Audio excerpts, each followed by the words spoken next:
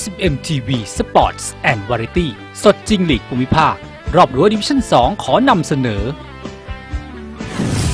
นาคาพิฆาตแห่งลุ่มน้ำโขงนครพนม FC ทีมใน AS ลีกภูมิภาคดิวิชั่น 2 ในโซนภาคตะวันออกเฉียงเหนือ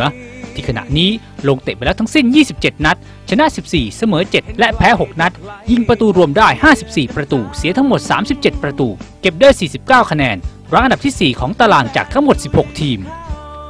โดยแบ่งเป็นผลงานในการเล่นเป็นเจ้าบ้าน 13 เกม ชนะ 9 เกม เสมอ 3 และแพ้ 1 เกม ยิงได้ 36 ประตู เสีย 18 ประตู ส่วนผลงานในการเล่นเป็นทีมเยือน 14 เกม ชนะ 5 เสมอ 4 แพ้ 5 เกม ยิงได้ 18 ประตู เสีย 19 ประตู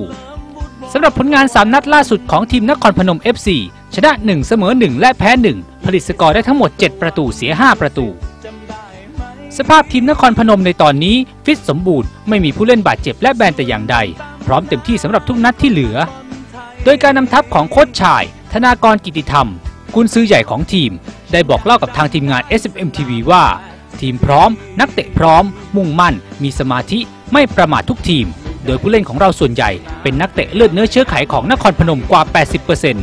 80%ซึ่งที่มาถึงจุดนี้ได้ เพราะความมีน้ำหนึ่งใจเดียว ความเป็นท้องถิ่นนิยม และแฟนคลับอีกหลายร้อยหลายพันชีวิตที่ช่วยผลักดันให้นครพนมมาถึงจุดนี้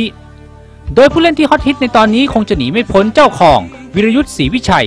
ที่ head coach ลั่นวาจาไว้ก่อนปิดฤดูกาลว่า จับตานักเตะรายนี้ไว้ให้ดี ซึ่งมาถึงชั่วโมงนี้เจ้าของซัดไปแล้ว 22 ประตู ซึ่งโค้ชชายได้วิเคราะห์ให้ฟังว่า เป็นเพราะมีสรีระที่สูง มีความเร็ว ยืนตำแหน่งที่ดี มีเทคนิคการยิงประตูที่เฉียบคม แข็งแกร่ง ทุกอย่างผสมผสานกลั่นออกมาเป็นผู้นำดาวซันโวอยู่ในขณะนี้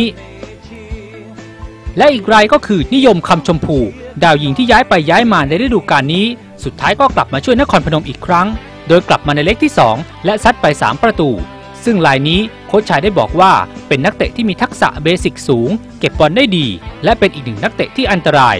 สองแข้งนี้ในอนาคตจะย้ายไปอยู่ทีมใหญ่หรือไม่นั้น ต้องรอให้จบฤดูกาลนี้ก่อน โดยในเกมที่จะเจอกับชัยภูมิจะต้องมีสมาธิให้ความสำคัญกับทุกเกมที่เหลือ เพราะแต้มอันดับที่1-5ห่างกันไม่มาก โดยอยากจะฝากแฟนบอลของนครพนม ร่วมเชียร์เรา เพราะท่านคือบุคคลสำคัญของเรา ร่วมสร้างสรรค์ฟุตบอลไปด้วยกัน และขอบคุณทีมงาน SMM TV ที่ให้โอกาสในการถ่ายทอดครั้งนี้ด้วยครับ ในวันอาทิตย์ที่จะถึงนี้ครับ นาคาพิฆาตแห่งลุ่มน้ำโขงนครพนม FC ทีมดับที่ 4 ของตาราง จะเปิดบ้านรับการมาเยือนของกระเรียนพยองมาชัยชัยภูมิ ทีมอันดับที่ 11 ของตาราง SMM TV สดจริงหลีกภูมิภาค จะถ่ายทอดสดให้ชมกันตั้งแต่เวลา 15นาฬิกา30 นาทีเป็นต้นไปสำหรับสถิติที่เคยพบกัน นครพนมชนะ 2 และเสมอ 1 ครั้งใน 2 ปีล่าสุด นัดนี้ผลจะออกมาเป็นอย่างไร ต้องติดตามรับชมกันทาง SMM TV ที่นี่ที่เดียว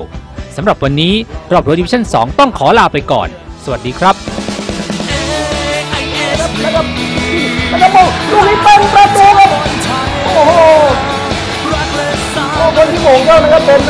ควานหลวงครับ